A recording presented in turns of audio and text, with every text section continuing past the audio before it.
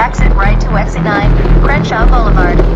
Then turn left on Crenshaw Boulevard. Uh, in a contested Democratic contest in this state, uh, I think it's fair. The method is weird, but it, it's uh, one that's always been used. And people in, in the game decide, okay, we're just playing by these rules.